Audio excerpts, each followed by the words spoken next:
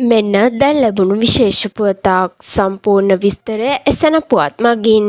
ශ්‍රී ලංකාවෙන් පිටත පදිංචි පුද්ගලීන්ට සපයනු ලබන සේවාවන් සඳහා විදේශ විනිමය පමණක් භාරගන්නා ලෙස සියලුම ලියාපදිංචි සංචාරක ආයතනවලට මහ බැංකුව දැනුම් දී තිබේ. නිවේදනයන් නිකුත් කරමින් ශ්‍රී ලංකා මහ බැංකුව මේ බව දැනුම් දී ඇත.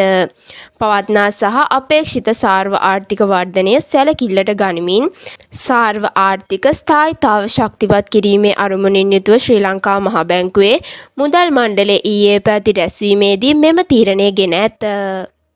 මෙවැනිම පුවත් ලද සැනින් දැනගැනීමට අපගේ YouTube නාලිකාව මේ දැන්ම සබස්ක්‍රයිබ් කරන්න.